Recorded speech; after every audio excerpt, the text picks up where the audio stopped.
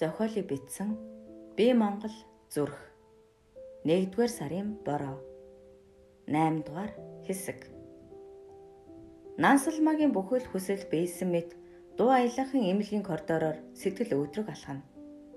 Хэд хоногийн өмнө өөрийнх нь эсрэг мэт бүх зүйл буруу тишээ эргэж байсан бол одоо түүний хүслээр бүгд байр байрандаа оржээ.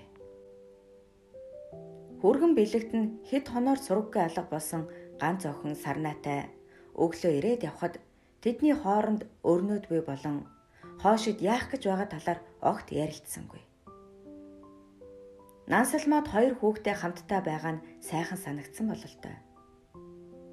Сарнайг тэгж их буруу үйлдэл олон дахин давтаж байхад бэлэгтийн уучлан байгаа байдлыг бишрэн бахархтаа Сарнайгийн нүдэнд ямар их айдас хоргодон байгааг огт анзаараагүй. Хөөхий Сарнай хот руу орж ирээд бэлэгтэд баригдаж түүнээс зодуур амсахдаа дахин зогтохгүй гэдгээ амлан байж эсэмэнд үлдлээ. Бэлэгт түүнийг санчиртаа уулзсан байсныг мэдээгүй. Гэхдээ мундаг ухаантай бас сарнаад бүхнээс илүү хайртай хүн болон жүжиглэж хайртай бүсгийнхээ урд өмнөх буруутай явдлуудыг өөчлөн цаашид ч хамтдаа байхаа илэрхийлв. Жаахан охиных нь амьдралаар тоглон толгойг нь эргүүлсэн нийгмийн давхрах доогуур зиндааны ажилчин залууг хашран дахин өөрсдийн амьдралд оролцуулахгүй байх санааж бүдэмжтэй байв. Одоо уг залууд хэрхэн хэдэн жилийн ял тохож ямар хэрэг үүрүүлэх талаар бодон алхахтаа Нансалмагийн толгой хачин жигтэйхэн сэрэг ажиллаж байлаа. Түүнд мэрэгэн санаа хормын төдий бүрдэж товчлуур зоргоор уцтан мэндийн зөрөөгөө наа зулхсгаа хүний аминд санаатай хүрэхэд завдсан гих зүйл ангаар яллах хэрэгтэй гэд цааш үргэлжлүүлэн ярих гэтэл товчлуурын дуу хоолой нь сааралтан байж. Энд асуудал үүс асуудал үүс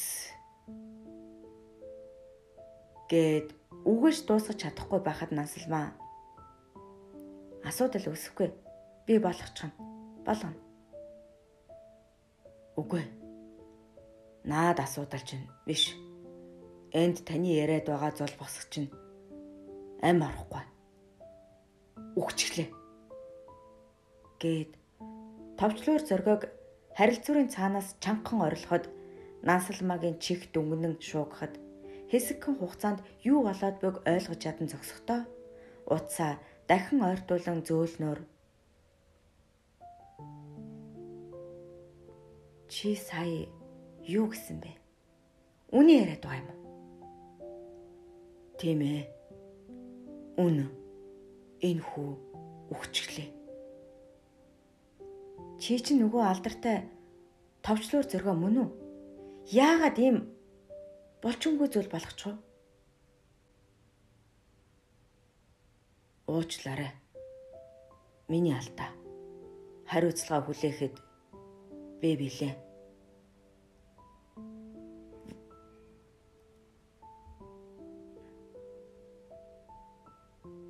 бүх улмөрийг устгах. Би болоод охин маань энэ хэрэгт ямар ч хамааруулгүй шүү. Ойлголоо.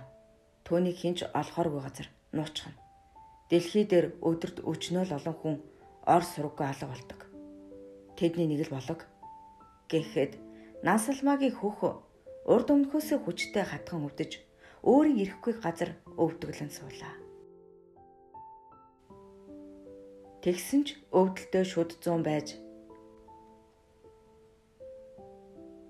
түүнийг өгөө болгосныг батлах ямар нэгэн зүйл надад авчирч өгөөрэй.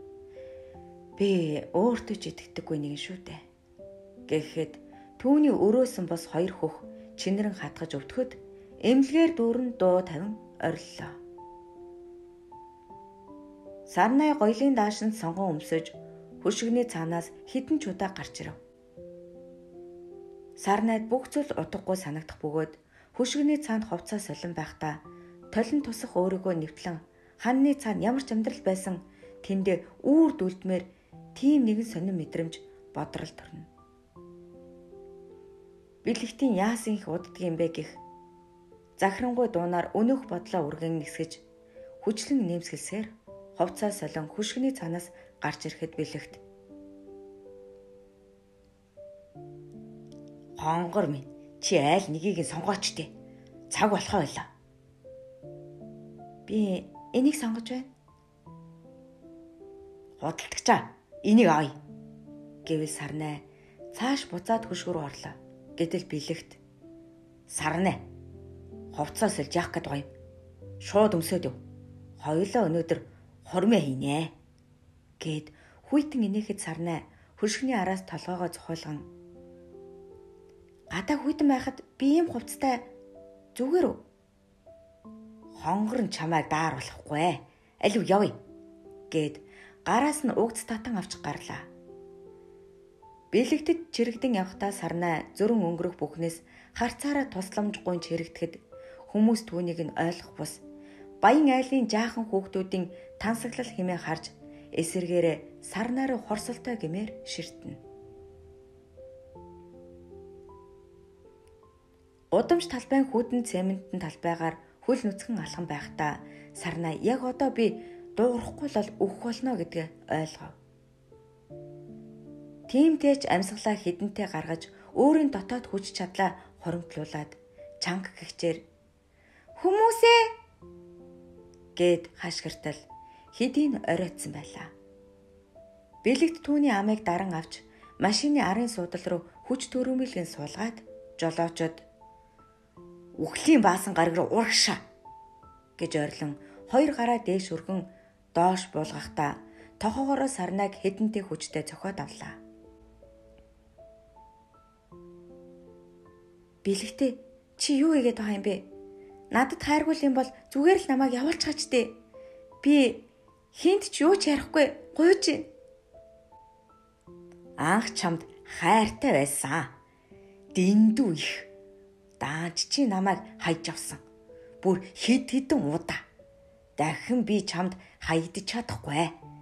Тэр диваажинда очиод намайг үргэлж санаж яваарай. Өнөө шүн чи миний туулж өнгөрөөсөн тэр зовлон амтлах болно. Гэд нунтаг цагаан зүйлийг сарнагийн ам хамарлуу чихэн байхдаа ихэндээ би юуныг сонирхож хэрэглээд чамайг хэсэгхэн хугацаанд ганцаар тулсан байх тэглээгээд хаа байсан хол хүний нутагт намайг орхиод ирлээ гэж үү? Өнөө шүн чи үүнийг хангалттай ихээр амталж зовлонг мэдрэх болно. Тэгээд чи үх заа юу? Машин барьж яваа жолооч бэлэгтэй болооч дээ бэлэгтэй гэд түүний мөрнөөс татан байж бэлэгтэй. Одоо тайвшир. 50 байгаарай. Цагдаагийн хоёр эрен машин урд байна. Би зохицуулна. Харин чи наад бүсгүйгээл дууга ойлгоорой. Дөрөв товцтой хоёр цагдаа тэдэн лөө дөхөн ирээд жолооч талын цонхон дээр заамрыг ирээ. Хаа урч явна? Аа, ойр зурал дэлгүр орох гээл. Та бичиг баримтаа Жолооч бичиг баримтаа гаргаж өгөхөд цагдаа бичиг баримтыг нь тулган шалгаад Ямар үндслээр зогсоосныг та мэдэж байна уу? Харин мэдэхгүй л байна. Та улсын дугааргүй машин жолоод иж явна. Гэхэд жолооч мэл гайхаж үгүй дээ. Тийм зүйл байх учиргүй. Гэсээр машинаасаа буухад цагдаа түүнийг өчлөн шууд л газар унган баривчлаа мөн машины арын хаалган дээр тусгаагийн хэд хэдэн ажилтан бэлэгтгч мөн адил баривчлан байхдаа тэдэнд хандаж хар тамих хориотой ургамал хэлээр нэвтрүүлсэн болно. Хэрэгс нь нотлогдсон гих зүйл ангаар шалгаж байна гэж хэллээ. Машины арын суудал дээр юу болоод байгаагч ойлгож ядан суух Сарнагийн дэргэд нэгэн эрхэм ирээд Сарна Ох минь зүгээр үү? Би энэ яаж вэ? Аавда хэлээрэ. Гэхэд Сарнагийн нүднээс нулимс урсан байж Би зүгээрээ аава гэд харцаа дээшлүүлэн хартал түүний аав биш бэлгтийн аав зогсож байлаа. Бэлгтийн аав түүний ам хамар цээжээр нь тархан байх нунтаг цагаан зүйлийг арчиж байхдаа Миний охин аавыгаа уучлаарай. Чамайг зөндөө их зодуур тамлал харгислалд амьдарч ирснийг мэдээгүй явж. Та хоёрын сүулт амьдарсан байранд би камер байршуулсан юм. Тэндээс бүх зүйлийг ойлгосон бас харсан. Би ч хүүдээ дэн дүүг хайр халамж үзүүлж хэр халдаахгүй ирсэн нь хүүгээ арчаагүй дөрөө хуваа хичээсэн занд сургаж түүнийг өөрөөсөө алдаж байж түүнийг байх ёстой газар руу хатуу чанга гараар хүмүүжүүлж авах гээд аав нь энэ шийдвэрийг гаргалаа. Хүүм надад гомд бол гомд нь үз. Ухаантай бол ухаарад гарч ирнэ үз. Инхгүй л бол хүссэн хүсээгүй ойрын нэг өдөр хүүгээ би нарсан дуу шоронд алдхал байсан. Одоо миний охин эрг чөлөөтэй дүүл нистэй амьдралаа өөрөө сонго. Аз жаргал миний охиныг хаа нэг газар хүлээж л байгаа. Миний охин сайн хүнтэй учр гэд сарныгийн духан дээр зөөлөн үнэрлээд бэлэгтийн аав цааш гунигтайхан алхлаа. Бэлэгтийн аав ямар хэцүү сонголт хийснийг болж бүтэхгүй үр хүүхдтэй яваа эцэг эхчүүд сайн олох үзээ. Нансалмаа ухаан балартан ойчоод хэдийн 10 хонжээ. Биеийн гайгүй дээртэхэд түүний дэргэд хань ижлээс өөр хинч байсангүй. Нансалмаагийн хань эр нөхөр нь ирээдүйн худ ургийн талд таагүйхан зүйл тохиолдсон талаар мэдэж байгаа хэдий ч их нэртэй хэлсэнгүй. Сарнаа аав руугаа яриад надад санаа зовоод хэрэггүй би дажгүй байгаа гэснээс өөр сургаггүй. Тийм болохоор өдийхөндөө сарнаг бэлэгттэй хамт Оросд байгаа л гэд нансалмат хэлчихсэн. Гэвч сарнагийн бодит байдал өөр байв. Нансалмаа биеийн дээрдэн байх энэ мөчөд сарнаа Эрдэнэтэд ирчихсэн. Гэвч 3 хоног санчрын гэрийг сахиад хайрт залуутайгаа уулзаж чадсангүй. Нансалмааг өрөөндөө хантайгаа байж байтал сахал самбаадаа баригдсан бүгтгэр нуруутай таяг тусан үгэн орж ирлээ өвгнийг хараад нансалмаа таньж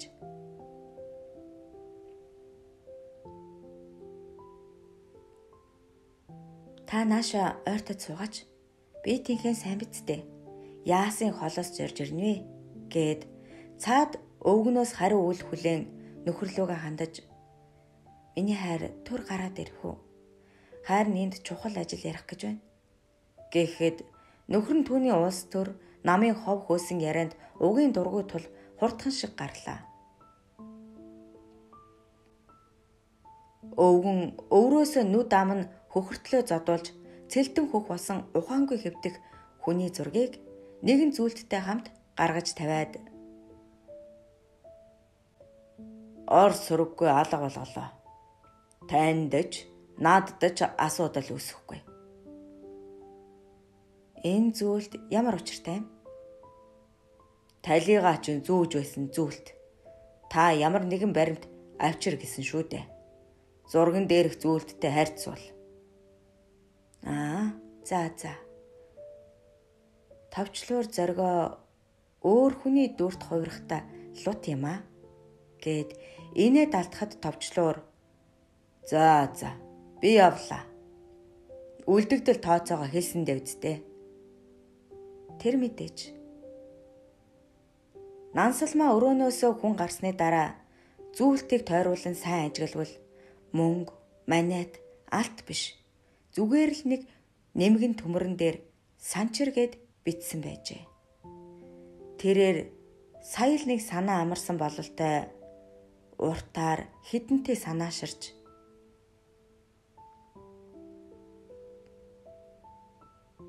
Санчир. Санчир. Санчир гэд хэд хэд хэллээ. Төвний өвдөлт юу ч үгүй арилах шиг болов. 8 дугаар хэсэг төгсөв.